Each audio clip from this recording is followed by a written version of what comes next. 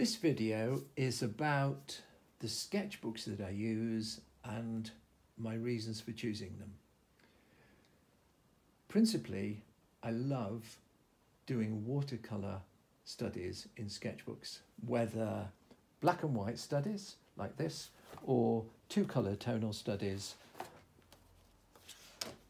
There are information gathering studies that will serve their purpose for years to come. In other words, the information is there to work from in the studio or something.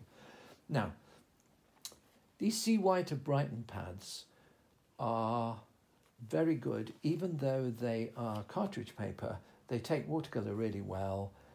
Uh, these are A4 and open out to A3 size.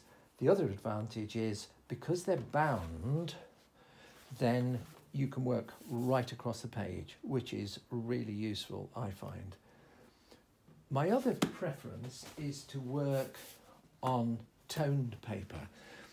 These are small 8 inch by 11 tinted, these are cream tinted Bockingford paper pads that I made up with a spiral binding and are very useful for doing little sketches like these.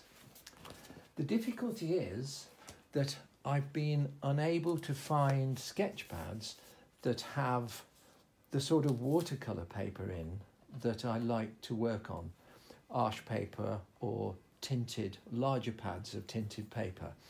So I decided to make up my own. So I've been bookbinding my own sketch pads and this one uh, is has 300 gram Arches paper in and the pages are 12 by 9 so they open out into 18 by 12 and there are 16 pages in all and because they're bound obviously you can work across the page.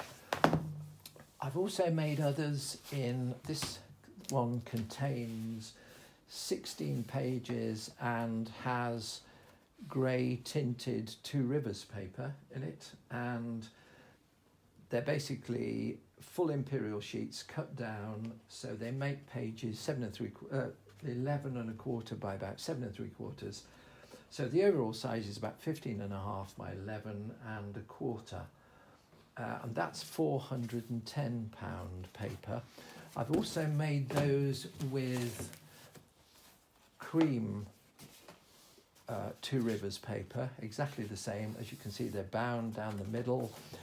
And this one has 19 pages of, uh, sorry, 30 pages of 140 gram Arches paper in. Again, 15 and a half by 11 and a quarter. Uh, this one that I covered from, this covering is from uh, a larger A2 size pad of cartridge paper.